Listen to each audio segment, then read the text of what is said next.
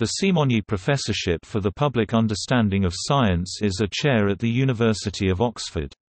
The chair was established in 1995 for the ethologist Richard Dawkins by an endowment from Charles Simonyi. The aim of the professorship is to communicate science to the public without, in doing so, losing those elements of scholarship which constitute the essence of true understanding. It is a position that had been endowed by Charles Simonyi with the express intention that the holder be expected to make important contributions to the public understanding of some scientific field, and that its first holder should be Richard Dawkins.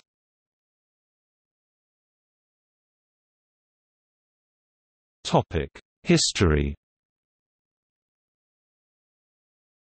Richard Dawkins explained the history of the creation of the chair in a chapter of his memoirs, Brief Candle in the Dark, My Life in Science.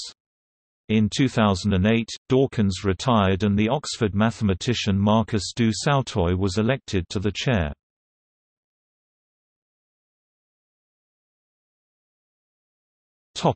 List of Simonyi professors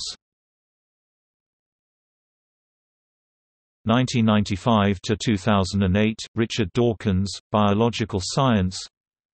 Since 2008 Marcus du Sautoy Mathematical Science.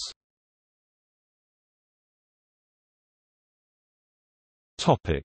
List of Simonyi lectures. Richard Dawkins established an annual Charles Simonyi Lecture at the University of Oxford. He invited the following speakers Marcus du Sautoy, second Simonyi professor, invited. Topic: Notes and references.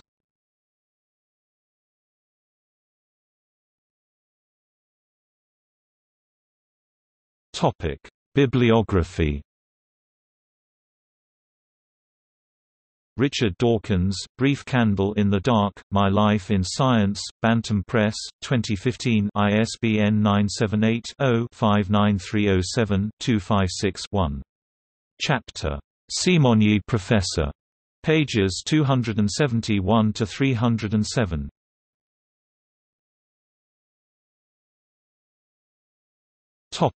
External links